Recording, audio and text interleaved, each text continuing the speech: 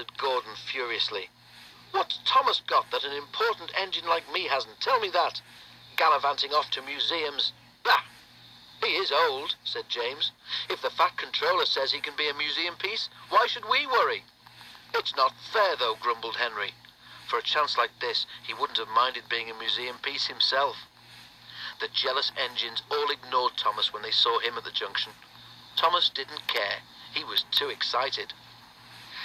Why me? Thomas asked Percy and Toby. Fancy the National Railway Museum people at, where is it, York, wanting me to go there? They've never even seen me. Yes, they have, said Percy.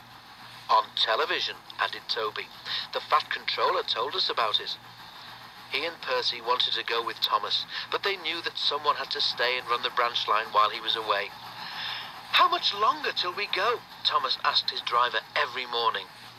One day less than when you asked before, laughed his driver. Anyone would think you wanted to be a museum piece. Thomas grinned. Gordon, Henry, and James are just jealous, he chuckled. Who else is at this museum? Is Flying Scotsman there, or Duck's friend, City of Truro? We shall have to wait and see, said the fireman. I'll be very surprised if there isn't someone there that you can remember from the old days. And that, of course, made Thomas more excited than ever. At last the day came. A large crowd came to the junction to see Thomas off, and the Fat Controller was there too. Goodbye, Thomas, he said. Enjoy yourself and be a credit to our railway. Everyone gave three cheers and Thomas set off. They ran across the island and over the bridge leading to the other railway.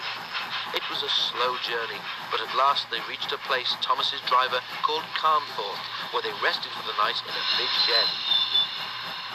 Next day they went on. At Skipton, Thomas stopped for a drink and to let a goods train overtake him. While they waited, it began to rain. In a signal box a little way ahead, the signalman opened his level crossing gates for Thomas and set his signals to clear. Suddenly, he heard a crack and then a rattle from the level crossing. The lock on a gate had broken and the wind was swinging the gate across the rails. Steam appeared above the trees as Thomas drew near. Wow! exclaimed the signalman, and quickly resetting the signal to danger, he ran to mend the gate. Thomas had never felt happier. His fire was bright, and even the rain didn't depress him. They neared a signal. Its arm was up, showing the line ahead was clear. Away we go, away we go, puffed Thomas happily. He was just passing the signal when he heard a clang as the signal arm fell to danger. Whoa, Thomas, cried the driver and put the brakes hard on. What? Thomas began, but then he saw just in front a heavy level crossing gate swinging towards him across the line. The signalman tried to stop it, but the gate was wet and it slipped from his hand. Oh, groaned Thomas as he skidded along the rails. Help! I must stop! But the rain had made the rails slippery and he couldn't. He slithered helplessly. He was still moving when he reached the level crossing. With a loud crack, gate broke against his beam. Ouch! said Thomas. Stop.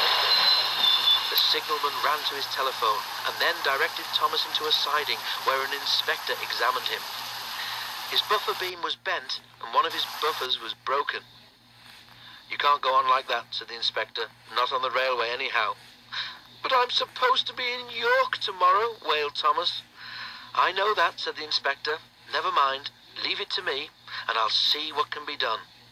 And with that, Thomas had to be content.